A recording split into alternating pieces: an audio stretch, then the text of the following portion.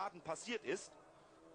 Coronel ist zu schnell und steigt wirklich im zweiten Stock auf über das Auto des Belgiers Tim Verbraucht. Und der wiederum wird dann von seinem eigenen Teamkollegen noch touchiert. Das sind die beiden Autos, die jetzt auf dem Asphalt stehen.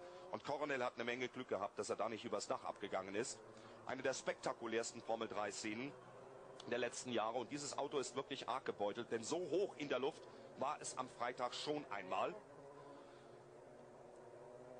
Da wird er aufgefangen und abgefedert.